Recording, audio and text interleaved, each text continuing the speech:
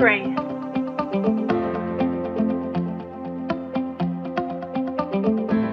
Grace. Grace. Grace. All right. Um, so tonight we're going to be going through the book of Esther. But before we do, I want to help clarify the timeline. And that's one of the reasons why things were thrown off. I thought we're going to go through the book of Nehemiah tonight. Um, and in fact, I told Stephanie we were going to, and then I had to text her today say, no, not so much.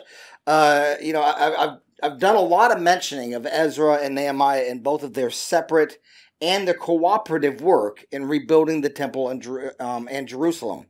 Yet, if you remember, I told you a few weeks ago that the story of Esther occurs in a 60 year gap between the events that are mentioned in Ezra chapter 6 and Ezra chapter 7. So you have the first six chapters of Ezra predate all three of them. Okay? When you got Esther, you got Ezra, and you got Nehemiah. Okay? The first six chapter of the book of Ezra is just a historical account that Ezra is given that predates his own life. Okay? Ezra doesn't even show up as being someone who is being actively used until the seventh chapter of Ezra. All right? But between chapter 6 and chapter 7, there's a gap of about 60 years, and that's when the entire life story of Esther takes place. Now, um, so you might wonder, why did we read Ezra first? Why not just start with Esther? Well, again, the reason is because the book of Ezra begins um, it, it, um, its first six chapters with events that predate not only Ezra by 80 years, but it also predates Esther by 20. So it made sense on a timeline to start with the book of Ezra because the events mentioned in the first uh, six chapters predate all three of these people. Okay? And now, as I'm explaining part of this, I do have a graphic that should help you a little bit. And hopefully I can make it stay on the screen. I don't know if it's going to or not. But uh, you can see there, so it says King Cyrus. He's, if you remember, all of this stuff is centered around Daniel. Uh, and, and I told you that before, but uh, I'm going to back up just a little bit. In order to uh, to attempt to follow a cohesive timeline, I decided to begin with Ezra, um, and then circle back around to catch us up with Esther. So uh, now all of this is directly connected with the timeline from Messiah given to Daniel by Gabriel. Have you noticed that? Since we were in the book of Daniel, everything we've covered since Daniel has uh, always pointed back to the revelations that were given to Daniel, right? And so we're still in that time frame right now. As you no doubt remember, because we've talked about it so much, the beginning of the countdown that was given to, to Daniel by Gabriel that, that led to Messiah was at the issuing of the decree to rebuild and restore Jerusalem, right? Everybody remembers that. You also no doubt remember that in total there were four decrees that were given for uh, for the rebuilding of Jerusalem and so on. But the first three only focused on the temple, not on the city. Is everybody with me? Remember that? Remember, but what Gabriel told Daniel was from the issuing of the decree to rebuild and restore Jerusalem, the city not the temple in Jerusalem. So the first three decrees had nothing to do with what Gabriel told Daniel. Okay? But those first, the first two decrees were covered in the first six chapters of Daniel. Then you have the life story of Esther. Then in chapter seven, of Ezra is when the third decree goes out, and that included Ezra himself, where he was told to go back to Jerusalem and help rebuild the temple. Then the fourth decree doesn't happen until the second book, uh, chapter of Nehemiah, where Nehemiah joins Esther, Ezra, I'm sorry, joins Ezra in Jeremiah, uh, I'm sorry, in um, uh, Jerusalem, and begins its work of restoring the actual city and the wall of the city. All right, so we haven't gotten there yet. We're not yet at the decree that was foretold by Gabriel to Daniel, where you start the countdown to Messiah. Is everybody with me? Does that make sense? And you can see the, the timeline I given there up there. Ezra begins with the first of the decree of the of the decrees, starting in chapter one, which was given by Cyrus the Great, who was in power somewhere between 550 and 530 BC. The second decree was made by Darius, in 517 BC, which is recorded in the sixth chapter of Ezra. Okay? Again, all of this predates Esther, Ezra, and Nehemiah, right?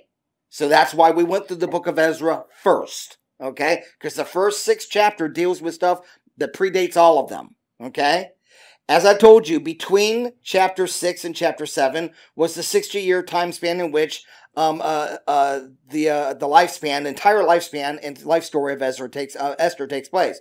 Also, between this time of that 60 year time period is uh, were the reigns of Darius and the the reign of Xerxes. Xerxes. That is the father of Artaxerxes. Okay, so you got Xerxes, and then his son is Artaxerxes Okay.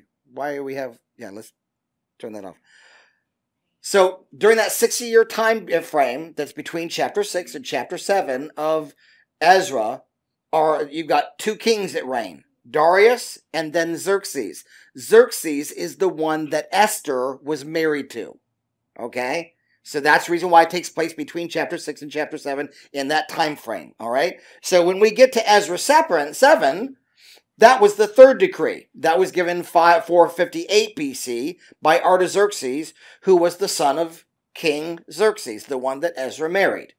I keep on repeating it in a different way so that kind of gets through your cranium. Are you getting this or no? Okay. The first king was King Cyrus.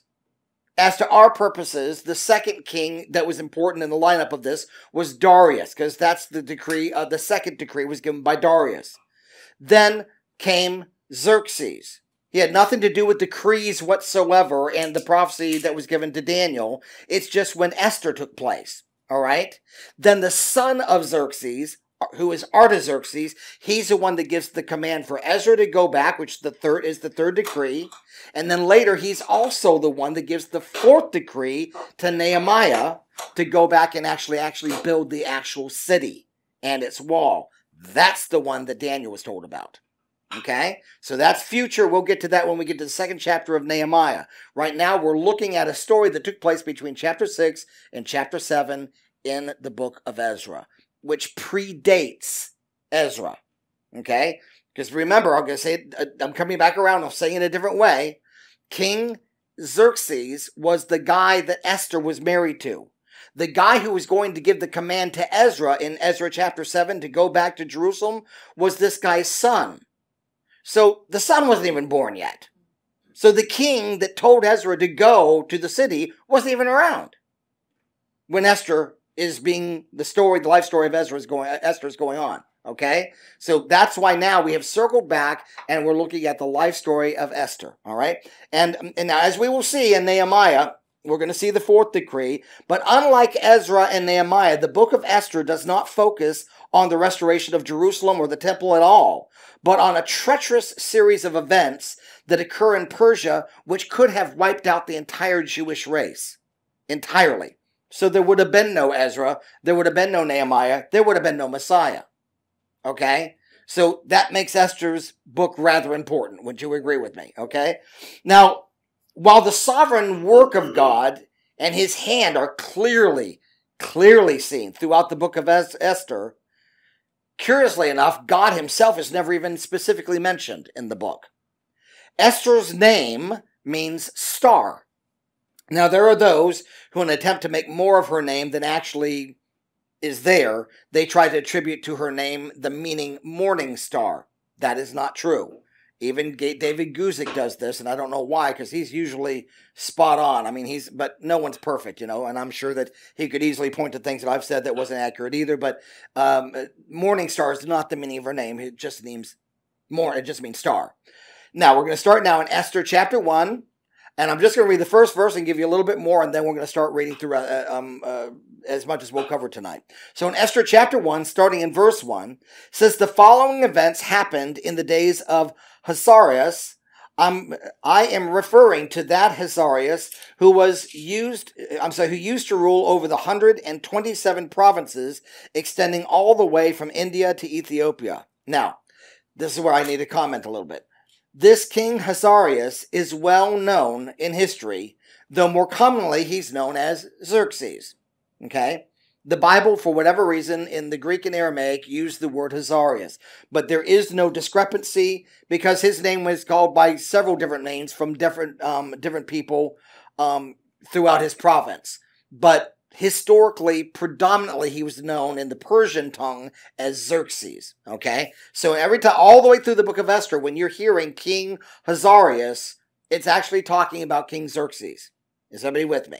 Okay, now his father, Xerxes' father, was Darius who we read about during Daniel and throughout the book of Ezra. And we will also read about Darius in the book of Haggai when we get there. And this guy, Darius, passed on to Xerxes the entire vast Persian Empire.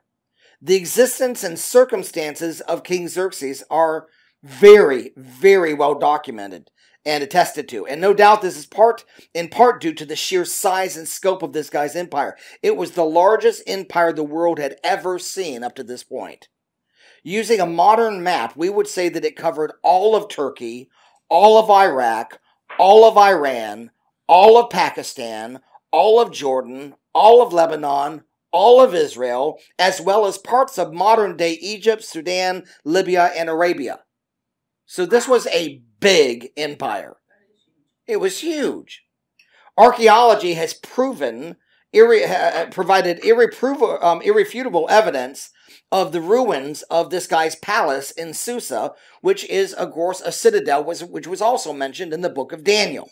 All right. Now, in fact, it was in one of his, if you remember, one of the, the visions that Daniel received. He, he says he was in the spirit and he saw the citadel in Susa.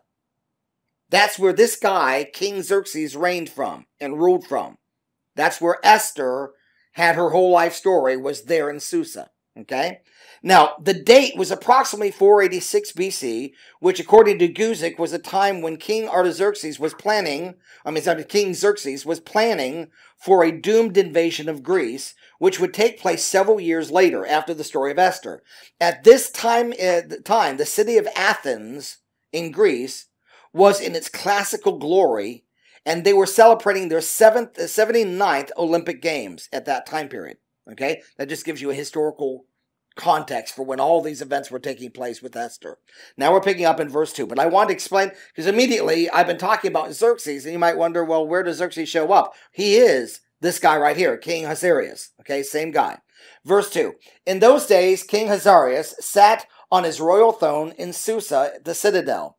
In the third year of his reign, he provided a banquet for all his officials and his servants. The army of Persia and Media were present, as well as the nobles and the officials and the provinces. Now, now that I've just told you the scope of his empire, you know that this was a heck of a banquet.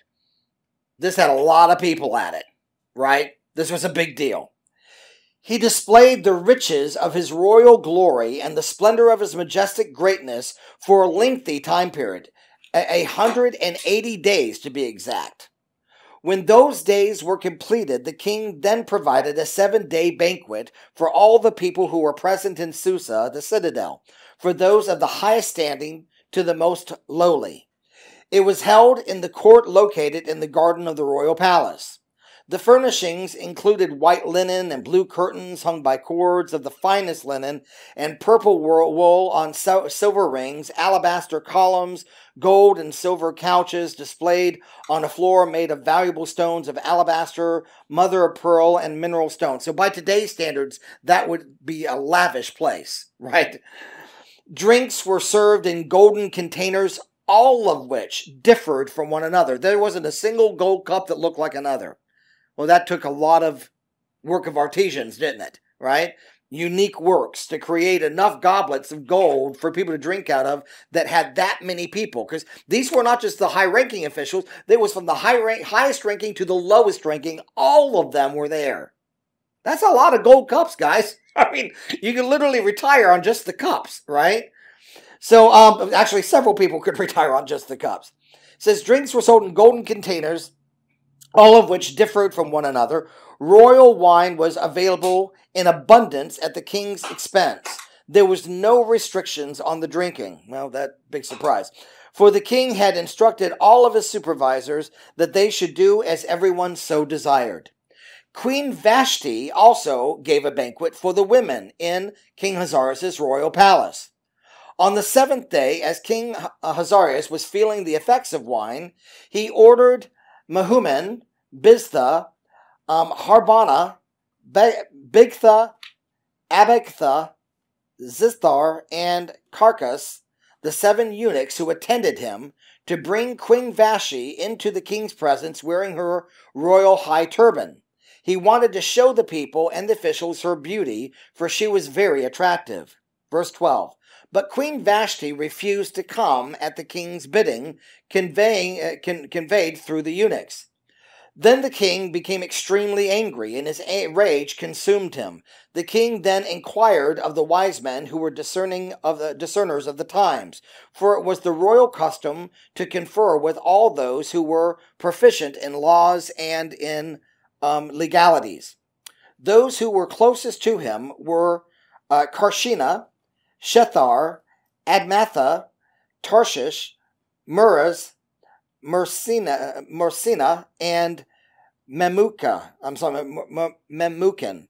These men were the seven officials of Persia and Media. Now, this is important that he gives this kind of detail because one of the things that we do have is a lot of information about this king.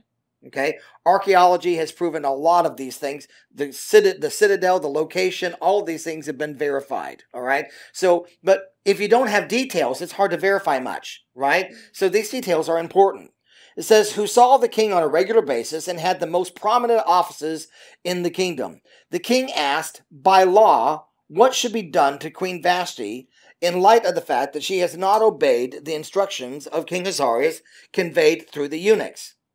Memucan the, then replied to the king and the officials, The wrong of Queen Vashti is not against the king alone, but against all the officials and all the people who are throughout all the province of King Hazarius.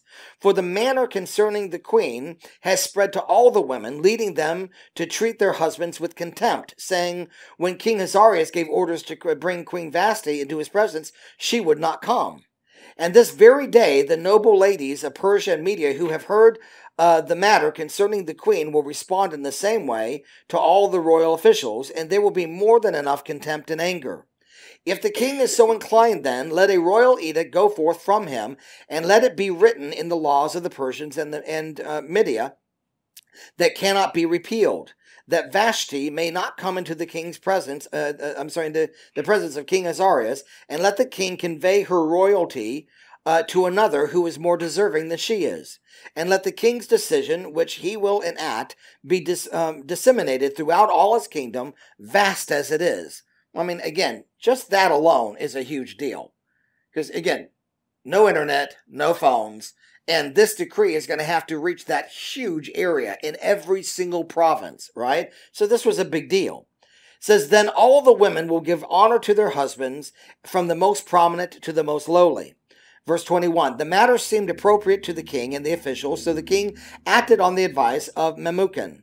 He sent letters, letters throughout all the royal provinces, to each province according to his own script, and in each people according to their own language. And that's the reason why, right there, in his in his province there were many different languages which is why his name wasn't always xerxes. It might appear as a, a, different transliteration of the same name throughout his kingdom but they all knew who they were talking about right? Says his own their own language that every man should be ruling his family and should be speaking the language of his own people. Esther chapter 2 there were um, when these things had been accomplished and the rage of the king uh, had diminished, he remembered Vashti and what she had done and what had been um, decided against her. The king's servants who attended him said, "Let a search be conducted on the king's behalf for an attractive young woman, and let the king appoint officers throughout all the provinces of his kingdom to gather all the attractive young women to Susa the citadel." Uh, to the harem under the authority of Hegai, that's not Haggai, that's Hegai, the king's eunuch, who oversees the women, and let him provide whatever cosmetics they desire. Let the young women uh, whom the king finds most attractive become, I'm sorry, let, let the young woman who the king finds most attractive become queen in place of Vashti. This seemed like a good idea to the king, so he acted accordingly. Verse 5. Now, there happened to be a Jewish man in Susa, the citadel, whose name was Mordecai. He was the son of Jair, the son of Shimei, the son of Kish, a Benjamite, who had been taken into exile from Jerusalem with the captives who had been carried into exile with um, Jeconiah, king of Judah, whom Nebuchadnezzar, king of Babylon, had taken into exile. Now he was acting as the guardian of Hadassah, that is, Esther, the daughter of his uncle, for neither his father, her father nor her mother were still alive. This young woman was very attractive and had a beautiful figure. When her father and mother died, Mordecai had raised her as if she had been her, his own daughter. Verse 8. It was it so happened that when the king's edict and his law became known, many young women were taken to Susa, the citadel, to be placed under the authority of Hegai. Esther also was taken to the royal palace to be under the authority of Hegai, who was overseeing the women. This young woman pleased him, and she found favor with him, meaning the eunuch, the overseer. He quickly provided her with, uh, with her cosmetics and her rations. He also provided her with the seven uh, special chosen young women who were from the palace. he then transferred her and her young women to the best quarters in the harem. Now Esther had not disclosed her people or her lineage, for Mordecai had instructed her not to do so. And day after day, Mordecai used to walk back and forth in front of the court in the, uh, of the harem in order to learn how Esther was doing and what might happen to her. So he was a good uncle, right? And at the end of the 12 months that were required for the women, when, uh, when the turn of each young woman arrived to go to King Hazarias, for it was, this was, for in this way they had uh, fulfilled their time of cosmetic treatment, six months of oil and myrrh, and six months of, with perfume and various ointments used by the women, then the woman would go to the king in the following way. Whatever she asked for would be provided for her to take with her from the harem to the royal palace. In the evening she went, and in the morning she returned to a separate part of the harem to the authority of uh, Shashgaz, the king's eunuch, who was overseeing the concubines. She would not go back to the king unless the king was pleased with her and was requ- and she was requested by name. When it became the turn when it became the turn of Esther, daughter of Abihail, the um, the uncle the uncle of Mordecai, who had raised her as if she was her own his own daughter, to go to the king, she did not request anything except what Hegai, that's the king's eunuch, um, who was overseer of the women, had recommended. So she had favor from the moment she hit the door, right? I mean, not only did um, this this overseer of all the women um, did, did she find favor in his eyes, but he assigned seven women to attend to her and then placed her in the very best quarters that were available. And she was kind of like his her point man who helped her um, throughout this whole process. And he actually gave her advice as to what to take into the presence of the king. And she said, Well, you know, that's what you said. That's what I'll do, right? So, uh, yet Esther met with the approval of all who saw her. Verse 16. Then Esther was taken to King Ahasuerus at his royal residence in the tenth month, that is the, tenth, the month of Tebeth, in the seventh year of his reign. And the king loved Esther more than all the other women, and she met with his loving approval more than all the other young women. So he placed the royal high turban on her head and appointed her queen in place of Vashti. So he didn't even go to the rest, see the rest of the women that had been brought to him throughout all the other provinces. As soon as he found Esther, he knew she was it. Now she's going to be the replacement uh, for Queen Vashti. Now, then the king prepared a large banquet for all of his officials and his servants. It was actually Esther's banquet. He also set aside a holiday for the provinces, and he provided for offerings at the king's expense. Now, when the young women were, uh, were being gathered again, Mordecai was sitting at the king's gate. Esther was still not divulging her lineage or her people, just as Mordecai had instructed her. Now, we don't know why Mordecai had told her not to divulge this, because everybody in the province was underneath the king. I mean, it's not like, I mean, there were native born Persians and native born um, Medes, but almost everybody under the empire were in one way or another captives. So it couldn't be because, well, you're a captive, so don't let him know that you're one of the captives, because pretty much I would guarantee 85% or more of the women who had been brought to the king were all part of, you know, part of different captivities that had been brought underneath his authority. So it probably wasn't that. More than likely, Mordecai was probably being num- number one, led by the Holy Spirit to tell her that. But number two, he probably knew, given the history of the Jewish people, that if there's anybody who's going to get persecution, it's going to be the Jews. So don't tell them where you came from. just keep that silent, you know, just keep the status quo. And, and he wasn't telling her to lie. He just said, don't bring it up, right? Don't offer the information. So in the verse 21 says, in those days, while Mordecai was st- sitting at the gate, the king's gate, Bigthan and Teresh, two of the king's eunuchs who protected the entrance, became angry and plotted to assassinate King Hazarias. When Mordecai learned of the conspiracy, he informed Queen Esther, and Esther told the king in Mordecai's name.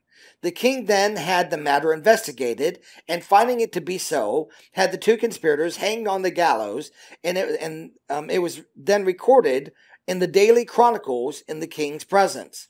Now that's important because later on, this is going to be um, something that the king totally forgets about this entire event. And years later, when he couldn't sleep. We're going to read about it. His uh, um, uh, he's going to have some people come and read the historical documents to him, and when they they read it, and this whole game, this guy Mordecai's name comes up, he um, uh, it becomes an integral part of saving the Jews. Okay, so it's important that this detail was placed in here that this was recorded in the king's um, uh, uh in the daily chronicles in the king's presence. Now, in Esther chapter 3, starting in verse 1, says, Some time later, King Hazarias promoted Haman, the son of Hammedatha, the Agite, exalting him and setting his position above all of the officials who were with him. As a result, all the king's servants who were at the king's gate were bowing and paying homage to uh, um, Haman, for the king had so commanded. However, Mordecai did not bow, nor did he pay him homage. So this guy has been placed in a position of high authority in all of the kingdom. And the command had been given that whenever this guy walks by, you make sure that you pay homage to him and bow down, which is a form of worship. And Mordecai refused to do it, right? And Haman, of course, Haman being um, a puffed up man and proud and, and, and arrogant and filled with himself because all the king had done for him, it made him angry that Mordecai was the one person that when he walked by didn't bow. Okay? So that was the burr in his bonnet right there. So it says, Then the servants of the king, who were the king's present, asked Mordecai, Why are you violating the king's commandment? And after they had spoken to him day after day without his paying any attention to them, they informed Haman uh, to see whether his attitude on Mordecai's part would be permitted. Furthermore, he had disclosed to them that he was a Jew when Haman saw that Mordecai was not bowing or paying homage to him, he was filled with rage. But the thought of striking out against Mordecai alone was repugnant to him, for he had been informed of the identity of Mordecai's people. So Haman sought to destroy all Jews, that is, the people of Mordecai, who were in all the kingdom of Hazarias. So in other words, what happened was, was when Haman realized that this was a Jew, and he realized the history of the Jews. Because remember, before the cap the um the conquering of Nebuchadnezzar, the Jews conquered everybody. And even people who did conquer them and carry them away captive eventually were destroyed themselves and the Jews went back free. The Jews always wound up on top. And so Haman thought, you know what? I don't want to come against Mordecai publicly on my own authority. I'd rather come against the whole lot of them in the king's authority. Are you following? Okay? So that's what's taking place here. So in the first month, that is the month of Nisan, in the twelfth year of the king Hazarias' reign, Pur, that is, the lot, was cast before Haman in order to determine a day and a month. So they were essentially, this was like the Jews did. They would cast lots. They would uh, roll dice. By today's standards, you would call it rolling dice, okay? To determine um, a day and a month. It turned out to be the 12th month. That is the month of Adar.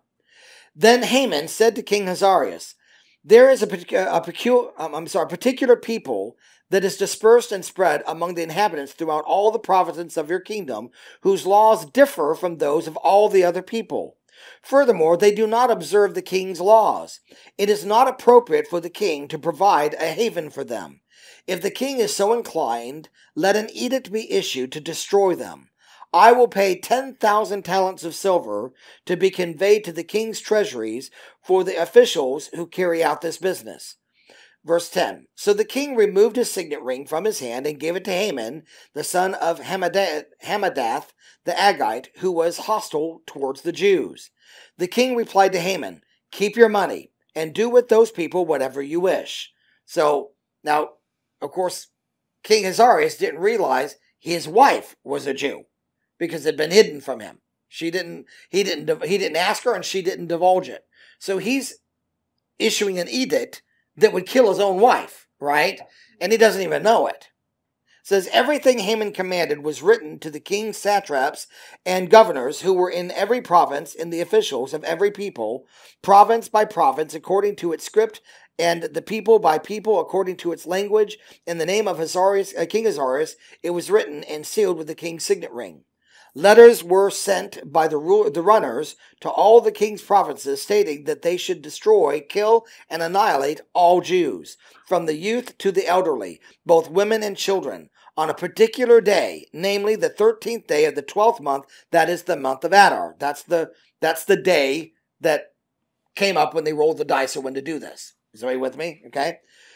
And to loot and to plunder their possessions. A copy of these, uh, this edict was to be presented as law throughout every province. It was to be made known to all the inhabitants so that they would prepare for this day. The messengers scurried forth with the king's order. The edict was issued in Susa, the citadel, while the king and Haman sat down to drink. The city of Susa was in an uproar. Chapter 4 now, when Mordecai became aware of all that had been done, he tore his garments and put on sackcloth and ashes, and he went out into the city, crying out in a loud and bitter voice. But he went no further than the king's gate, for no one was permitted to enter the king's gate clothed in sackcloth. Throughout each, now that's important there as well. Okay, it's not important for now, but it's important for when we get to the book of Nehemiah in the king's presence, you couldn't come into the king's presence with sadness or with mourning. You weren't allowed to come into the king's presence like that. Okay? Which reminds me of another king. God, right? Mm-hmm. Enter into his presence with singing, right? And with rejoicing, right? Now, does that mean as you and I, we can't come into his presence sad? No, but he would prefer that you came in happy, right? Okay? Because God is a God of joy, right? But uh, this king here didn't want that to happen. That becomes very, very important because later on, when we get to the book of Nehemiah, Nehemiah, he heard how Jerusalem was doing, how the city itself still laid in ruins and its walls were still burned. And because he didn't know that, he was a cupbearer for King Artaxerxes, this guy's son, right? And one day he came in as uh, you know after he heard that news he came um came in bearing wine before the king and he couldn't disguise the fact that his face was sad. You don't do that right? And so we're gonna we're gonna see how that actually gets the attention of king artaxerxes and it works to god's uh, uh um, uh, um the, the favor of the jews because god set it up that way okay? But so I wanted, I just want to make note of this as we went through it, so you knew when we got to Nehemiah, this is something you don't do. And so, and, and that's why when you reread it in the book of Nehemiah, when the king called him out and he said, you know, why do you have a long face? Surely this is nothing but sadness of heart. It says Nehemiah was filled with fear. Well, that's why, because you don't come into the presence of the king sad, right? In other words, he could have been, he could have lost his life that day for that, right? So, uh, so you can see now why Nehemiah was. When we get to Nehemiah, you'll understand why he was filled with fear. All right. So anyway, it says, um, Verse 2 it says, But he went no further than the king's gate, for no one was permitted to enter the king's gate clothed in sackcloth. Throughout each and every province where the king's edict and law were announced, there was considerable mourning among the Jews, along with fasting, weeping, and sorrow. Sackcloth and ashes were characteristic of many. When Esther's female attendants and her eunuchs came and informed her about Mordecai's behavior, the queen was overcome with, with anguish. Although she sent garments for Mordecai to put on so that he could remove his sackcloth, he would not accept them. So Esther called for Hathach, one of the king's eunuchs, who had been placed at her service, and instructed him to find out the cause and the reason for Mordecai's behavior. So Hathach went to Mordecai at the plaza of the city in front of the king's gate. Then Mordecai related to him everything that had happened to him, even the specific amount of money that Haman had offered to pay to the king's treasuries for the Jews to be destroyed. He also gave him a written copy of the law that had been disseminated in Susa for the destruction so that he could show it to Esther and talk to her about it. He also gave instructions that she should go before the king to implore him and petition him on behalf of her people. So Hathach returned and related Mordecai's instruction to Esther. Then Esther replied to Hathach with instructions for Mordecai. All the servants of the king and the people of the king's provinces know that there is no one, uh, that there is no one law applicable to any man or woman who comes uninvited into the king's inner court, uh, inner, inner court. That person will be put to death unless the king extends to him the gold scepter, permitting them to be spared. So if you came before the king without being invited by the king, it was a death sentence, unless he decided to let you live, and he indicated that by pointing the, his scepter at you. So you didn't just come in and talk to the king, ever. Nobody did, not even his wife. All right? And so Mordecai was saying, I want you to go appear before the king and ask him to reverse this decision. And she's like, if I go there, I'm going to die unless by the flip of the coin he decides he's in a good mood and points his scepter at me. So you can see what she's saying, right? Now, he says, and now I have not been invited to come into the king's presence for some 30 days.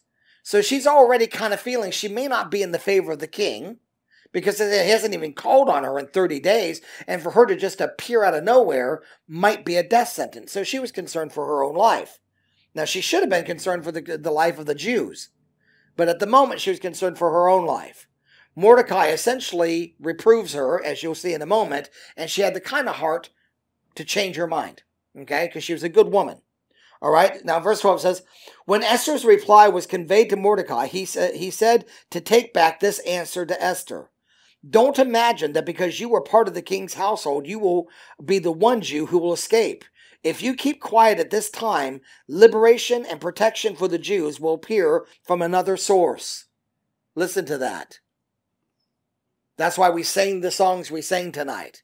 Mordecai knew God would deliver them. God will use you if you'll let him. But if you choose to not be used by God, then deliverance will come through another person but it is coming. Listen to the faith of Mordecai, right? If you keep quiet at this time, liberation and protection for the Jews will appear from another source, while you and your father's household will perish. It may very well be that you have achieved royal status for such a time as this. And thus that phrase was born. How many times in Christendom have you heard such a time as this, right? It says, then Esther sent this reply back to Mordecai Go assemble all the Jews who were found in Susa and fast on my behalf. Don't eat and don't drink for three days, night or day. My female attendants will also go and, uh, and fast in the same way. Afterwards, I will go to the king, even though it violates the law. If I perish, I perish. So Mordecai set out to do everything that Esther had requested of him. Chapter 5 it so happened that on the third day Esther put on her royal attire and stood in the inner court of the palace opposite the king's quarters. The king was sitting on his royal throne in the palace opposite the entrance. When the king saw Queen Esther standing at the court, she met with his approval. The king extended to Esther the gold scepter that was in his hand, and Esther approached and touched the end of the scepter. The king said to her, what is on your mind, Queen Esther? What is your request? Even as much as half of the kingdom will be given to you. Esther replied, If the king is so inclined, let the king and Haman come today to the banquet that I have prepared for him. The king replied, Find Haman quickly, so that he may do as Esther has requested. So the king and Haman went to the banquet that Esther had prepared. While at the banquet of wine, the king said to Esther, What is your request? It shall be given to you. What is your petition? Ask for as much as half of the kingdom, and it will be done. Esther responded, My request and my petition is this. If I found favor in the king's sight, and if the king is inclined to grant my request and perform my petition, let the king and Haman come again tomorrow to the banquet that I'll prepare for them. At that time I will do as you, the king, wishes. Now Haman went forth that day pleased and very much encouraged. But when Haman saw Mordecai at the king's gate, and he did not rise nor tremble at his presence, Haman was filled with rage towards Mordecai. But Haman restrained himself and went on to his own home. He then sent for his friend to join him, along with his wife Zeresh. Haman then recounted to them his fabulous wealth, his many sons, and how the king had magnified him and exalted him over the king's other officials and servants. Haman said, furthermore, Queen Esther invited me, not invited only me to accompany the king to the banquet she has prepared, and also tomorrow I am invited along with the king. Yet all of this fails to satisfy me so long as I have to see that Mordecai, the Jew, sitting in the king's gate. Haman's wife, um, Zeresh, and all his friends said to him, Have a gallows 75 feet high built, and in the morning tell the king that Mordecai should be hanged on it, and then go with the king to the banquet well contented. it seemed like a good idea to Haman, so he had the gallows built. And that is where we're going to end tonight in a cliffhanger. so, uh, but I want you to see how all of this is conspiring together. And, and I want you to see the faith of Mordecai. Don't lose sight of that because God honors this man greatly in the end, right? But he had great faith. He knew that if, if Esther doesn't let herself be used, then, then deliverance is going to come somewhere else you know but and, and and his wording he didn't know for certain but he said but you, you don't know esther that but maybe you were raised to this position for such a time as this right so don't don't lose don't miss your day of visitation right don't miss your opportunity and and and and notice that esther had the a good kind of heart her first thought was about herself well how many times did that happen with you and me right yeah, when bad things happen, sometimes our first thought is how this is going to affect me. But was that her end decision? No, she was a good woman. She was a godly woman, right? And she said, "You know what? I'm going to do what you ask. I'm just asking that you you pray for me, fast, that I'll have success when I go before the king and I won't be killed, right? But whether I die or I don't die, I'm still going to go." Well, she was a good woman, wasn't she? Thank God for Esther. She, you know, we have a lot of we have a lot of patriarchs that we can look back to. But we have a, a good handful of women who were powerfully and mightily used by God, and these were women of outstanding character. Amen. And they should be honored as much as anybody else who bore the name of God. Amen. So Esther was a wonderful, wonderful woman. And we're going to find out more about her next week. But I want you to see how, again, I hope this this helped you here, this outline that I gave you, because it gives you an idea how all this comes together towards the point where the countdown's going to come towards Messiah because after this, after Nehemiah and the time period of rebuilding the the um, the the city of Jerusalem and its wall, from that day forward, uh, because there was a, another event that takes place, and I'll talk to you about that in another date. After that time, God lapses us into silence, and you don't hear a word from God speaking to Israel until Messiah comes. And so these events are the most pivotal ones in Jewish history until Messiah came. So and all so all of these prophetic books that we're reading are all spearheading these events and they're all coming together at once, right? And so that's the reason why it's kind of hard to outline it to you as we're going through the Bible because there's some books we've left hanging in order to try to create a timeline, some type of a some type of cohesive timeline, and we have to circle back and get other books because I don't want to lose the the events as they're transpiring one after the other. You know what I'm saying? So um, hopefully that helps you somewhat. Now, um, based on what we've learned so far, does anybody have any questions or thoughts? Yes. Okay. So you always read from you've been reading from the NET translation lately. Mm-hmm. Okay. Mm-hmm. Yeah but the NET translation didn't have the the um, audio for it on my uh-huh. Bible. Yeah. So we listened to a different version. Okay. So in some of the versions, and I was discussing this with Terry, mm-hmm. um, it's trivial, but in some of the versions, it uses the word like violet or purple about mm-hmm. the the first part of that line, yeah, uh-huh. six. Some of them use white, blue, and green. Mm-hmm. What I mean, in, in my huh. opinion, and if you go, yeah. I looked, at, I was, that's what I was doing when you came in the room earlier. Yeah. And that don't make sense to me because mm-hmm. purple does not have to do anything with blue and green.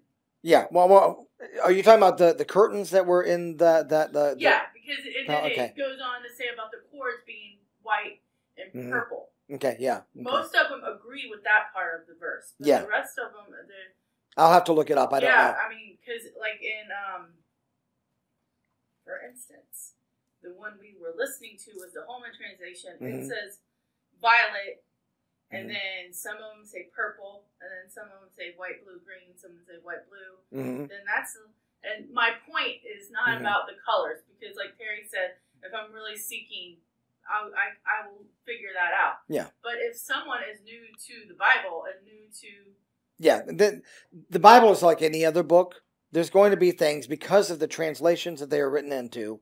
There's going to be misunderstandings um, uh, some of the misunderstandings, like when you're dealing with uh, uh, the King James version. The King James version was re- was off of the Masoretic text, which is an inferior text, very inferior in comparison to most other texts that we have that date back further. So the the further back in history you go, the closer to the events they're talking about you get right? And the closer you get to those events, the more accurate the information is going to be. Okay, so when the King James was around, they used the Masoretic text, uh, um, uh, uh, and the Masoretic text was really just not a very good. I mean, it wasn't terrible. I mean, uh, to be honest about it, I mean, we really don't have any truly bad copies of Scripture. They're just in, especially when you and you have to understand. I mean, it's a good question, and that's what I want to spend a little bit of time with it you need to understand the Bible is so ridiculously unique in all literature from the beginning of the world until now. There's nothing like it. There's absolutely nothing that's even close to it. The, the we have got so many copies of this uh, of of the Old Testament and the the letters in the New Testament that it's literally like I've so I've used this word before. Uh, it's a I'm borrowing from a word from um, Daniel Wallace. We have an embarrassment of riches. If you were to take most major historical um, books that there are of antiquity, where we get knowledge about, say, uh, um, uh, uh, various kings, like the uh, Alexander the Great comes to mind, especially, um, or even any of the Roman empires or I mean emperors or any of these kings and stuff like that that you read about from antiquity. If you look at the documentation in history that we have of them, the stack is probably about maybe that tall, maybe an inch. Of all the collective works from every around the world, that's all the information we have on them. All right? The rest of it we dig up through archaeology and try to piece together ideas that we're not absolutely sure it turned out this way, but we think it did based on what we're uncovering, but we don't actually have any text that tells us. So we've got this little bit of text, and the rest of it we kind of make up based on what we were able to dig up. Okay? That's all they've got. The Bible, literally, if you were to stack the documents, almost go over a mile high. That's what I mean by an embarrassment of riches. We and between those documents, about the biggest problem you're going to find is a mistranslation of a color. Or maybe uh, instead of saying Xerxes, it'll say Ahasuerus. But it, there's no question who this guy is because of the time period, the location, and all the facts surrounding what's in the book of Esther. You know who it was right? And like I said, in that huge province of that huge area over there, his kingdom spanned through, he was called by many names, by many languages, right? I mean, Jesus is called Jesus in English, but he's called Jesus in, a, in other language and Iesus in other languages, but it's still Jesus, right? Uh, which one's right? They're, they're all right. There's no wrong. They're all talking about the same guy. The guy's the thing that's important, not how you pronounce his name. Well, in some of these documents, all it takes literally is just changing, either leaving one letter out or a little one little um what you might call what appears like an apostrophe or something like that in that language to turn a color purple to the color green. That's all it would take. And so you've got some text that will show something one thing and one will show another, but all of them agree on the location, that there were so many curtains that they were hanging by silver um, cords, that the that um, that there were golden cups and they were all unique. All the facts that still you walk away with what happened is still there. You just might walk away with a misunderstanding about a single color, maybe. You said, can you see what I'm saying? Now, am I saying that that's not important for some people who come to the Bible and think, well, it's completely free of errors? Well, it's free of errors based on what translation you're reading. You're going to run into one that might use the word green and another one uses purple. Which one's right? Because if one's right, the other one's clearly wrong, right? Okay. But that's, uh, and I taught this way, way back. And if, if this would really help you guys, if you went back and read, I, I, I wrote an article on this. It's called Copy of Copies. Um, uh, yeah, copies of copies. Um, I don't know. I forget the rest of the title. But it's the if you did a, if you did a search on a website and you found just typed in copy of copy, it's the only thing that's going to come up with that title, and it gives you a, a, an understanding of the way that things were translated, a, an understanding of what we have to work with in the manuscripts, and how um, the the basis for our understanding, getting a picture of what happened in all of these events, are outlandishly accurate. Outlandishly accurate, down to details of cups and hanging curtains, right? Uh, every once in a while, you're going to run into an issue like you brought up, and it's a good one. I'm not minimizing what, what Stephanie brought up because it's important because you all need to know that one of the problems that we've had in Christendom, and unfortunately, this is this is the one one of the few things where the church influenced the world. Okay, usually it's the other way around. The world's influencing us. But one of the few ways that we've influenced the world is by setting the Bible on such a ridiculous pedestal where one word can't be wrong or the whole thing's wrong. The Bible never claimed that. It was written by human beings inspired by the Spirit of God. That's why you can read the exact same account of the life of Jesus from Matthew, Mark, Luke, and John, and it's coming from different angles. Now, where he was is all going to be accurate what he said is going to be accurate, but they're going to use different words to represent what Jesus said. Because nowhere in there does it say this is a direct quote, word for word, of what Jesus said on this date, this time, this many seconds into the day. No one says that. That that level of expectation of Scripture is is inappropriate because it's a relational book, right? I, I learn what it says because someone conveyed to me that knowledge. Does that mean that the words they're saying is exactly word for word what Jesus said? In fact, the exact same enunciation? No. But these are the things he said. Are you following me? And to put it on this level up here is an unreasonable standard that the Bible never claims to be true.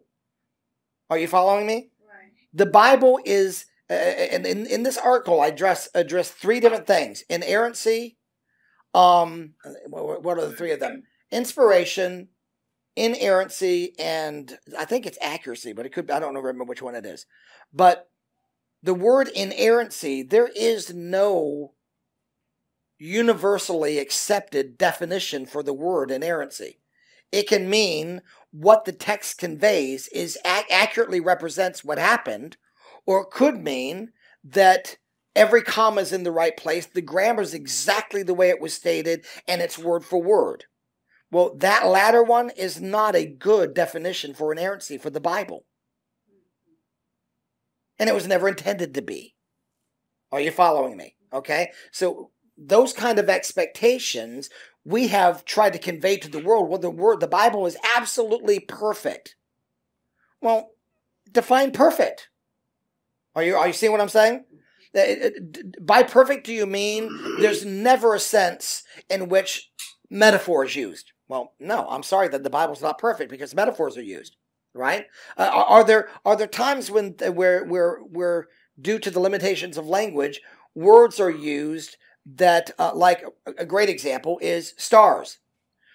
You'll you'll see the word star used in the Bible but stars refer to any luminary that was in the night sky. Any luminary.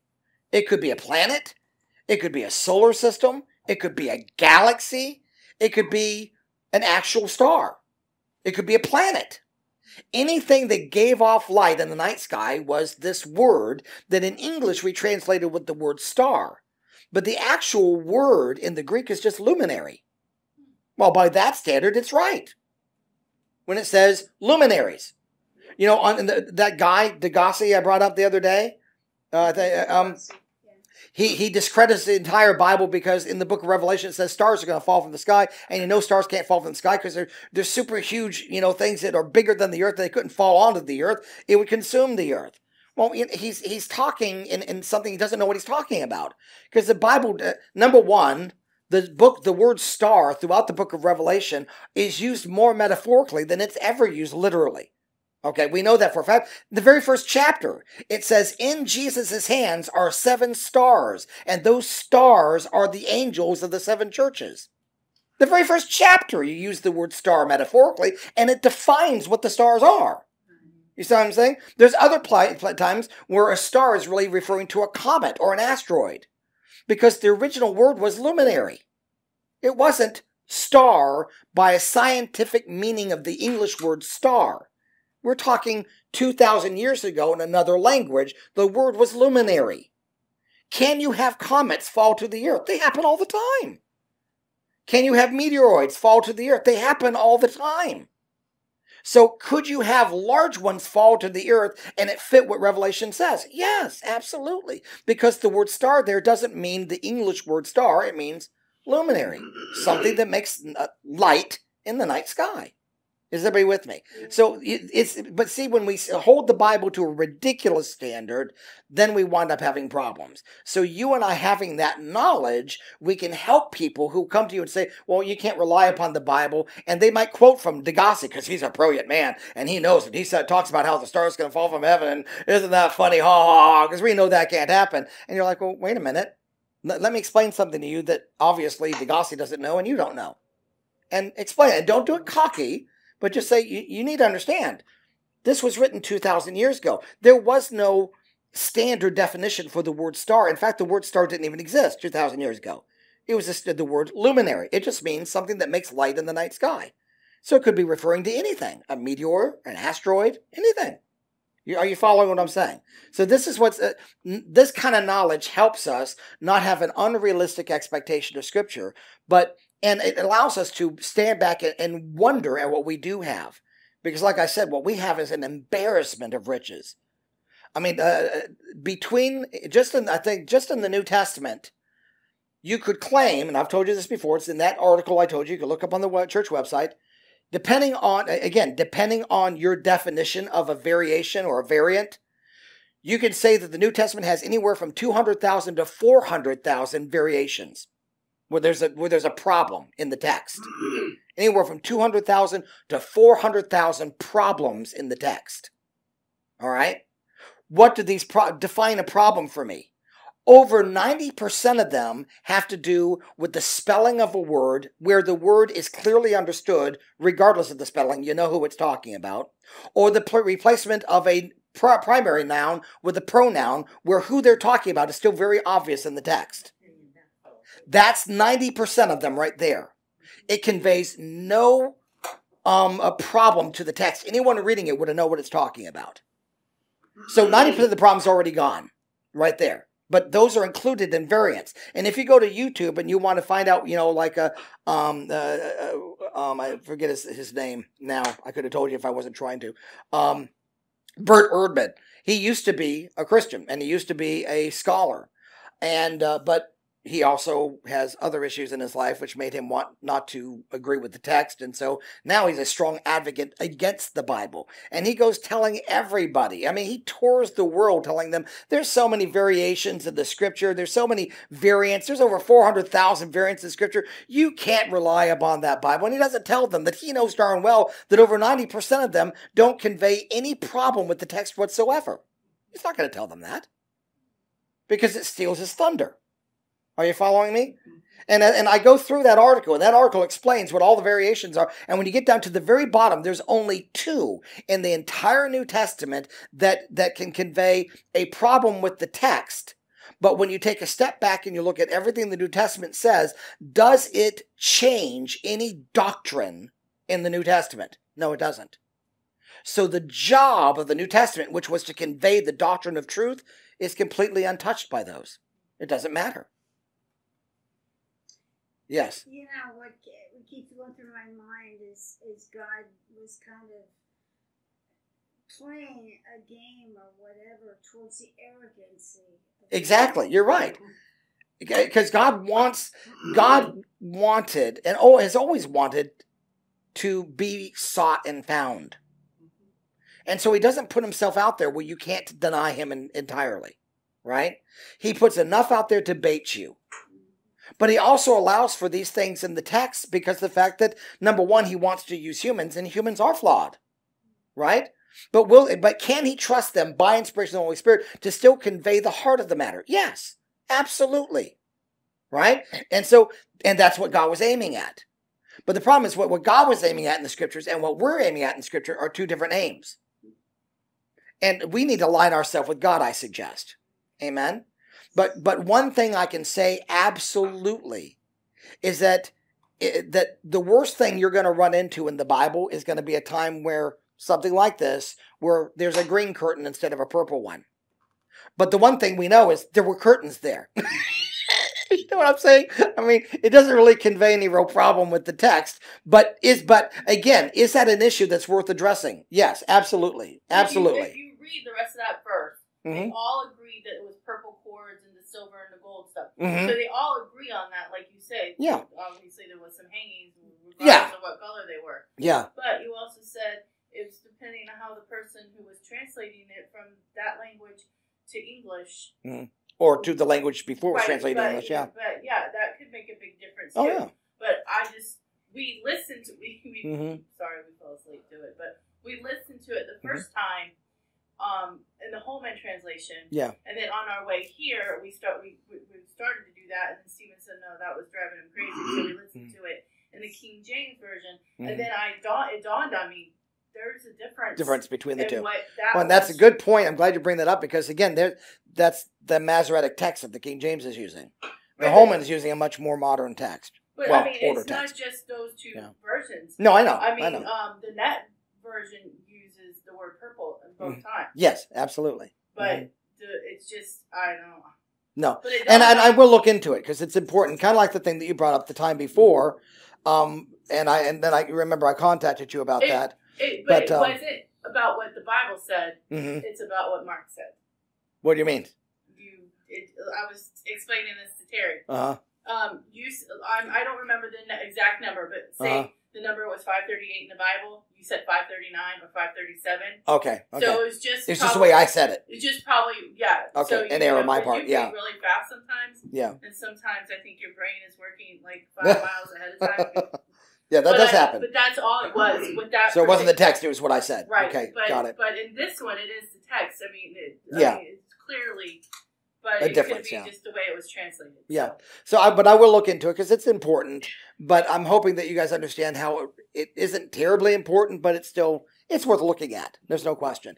Especially because the more educated you are, you're gonna have less things that people can throw at you, and you just have a dumb look on your face. You're like, I don't know. You know what I mean?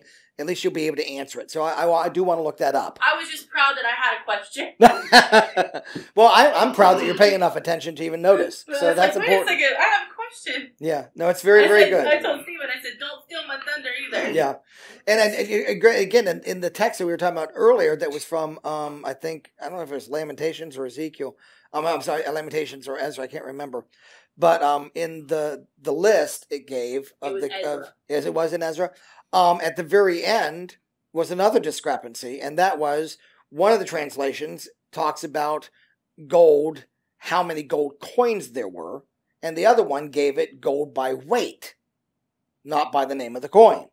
And so if you if you take the coins, say each coin weighs a couple of ounces, right? Well, then the number of coins and the number of pounds are going to be different, right? And so one one said, you know, like say 130, and that was the number of coins, and the other said 200 pounds, and that was the weight. Both are right, but they're saying it a different way, and so it looks like an error. When again, what's being conveyed to you? The idea that there was this much gold. It doesn't matter whether it was a denarii or it was a talent or what it was. It, the big deal is that it, there was this much gold, right? And one text will say it one way, and one text will say it another. But in the end, does it matter? No, because it's still conveying the basic idea, and that's what we're really aiming at, right? So, I uh, would have probably looked right over that what you just said. Mhm. But now that you said that, I probably will be when I'm reading. go back and look at it. Mhm. Yeah, when I'm reading, you know, especially numbers, I'll read it very carefully because, like, it could say pounds for this, and I don't know, euro for this. I'm just using, yeah. I'm yeah. just using. Well, know, modern translation might use the word euro. Yeah, that's right. So, uh, but can you see? There's there's there's a lot of obstacles when you're dealing with a, a, a body of of of writing that spans that many centuries, right? You're bound to run into things that are going to make you scratch your head and wonder, right? But what is amazing is that there are so few things that make you scratch your head and wonder. That's the true wonder. You know what I mean? And this is the way we are as humans. We're we tend to be glass half empty kind of people. You know, when in tre- when in reality, the great majority of what we have is just absolutely it beats all odds. There's nothing like it. Nothing. And if we were going to reject a document based on things like that, then we can accept no historical document at all if we reject the Bible, because the Bible's got more going for it than against it than any book ever. So if we're going to reject the Bible, you have to reject all of history by the same standard. You have to. That means you, you can't trust anything at all, period. Nothing. Nothing at all. So, yes, Stephen. The same people that are going to complain about the color of the curtains Mhm. are going to be the same people that say this is exactly what early humans look like because we found a tooth. Yeah. yeah. Or even worse, because Time Life drew a picture. Well, Yeah. they, they, they, they Based were on a tooth. excavating. They found a tooth, so now we know that this person's like six feet tall and you know covered in hair and brown and Mhm. hunched over, like from a tooth. Yeah. That's right. Then later we find out it's a pig tooth. So- Yeah, exactly. I have a question though. Why do you think they don't mention um, God directly in the whole? Book? In the book of Esther? Yeah. I really don't know. I don't know. Um, maybe because it's written from a perspective of just being a historical account from the natural. Oh, I, I don't told know. Stephen. I said maybe it's because it's talking about Jews. The, I mean, the, I mean, the, the, they say Jew almost in every chapter at least hmm ten times. I, I, I mean, I just, I just, it's something I just noticed Picked up on, yeah. yeah. Mm-hmm.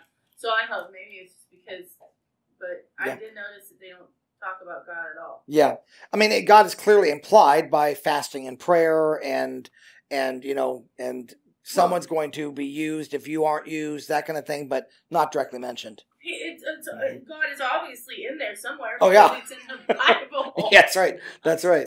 So, uh, but it's it's a fabulous book, and uh, but I, I thought that was a good place to end. So there's a little bit of a cliffhanger, and it allowed us to have some talking time, which is good. So, uh, but I will look into that green thing for you, I promise, because I'm interested myself. Myself, Is that going to be on the webpage? I can put it there. Yes, ma'am. Uh huh. Sure. And All right, then let's go ahead and close and pray. Grace.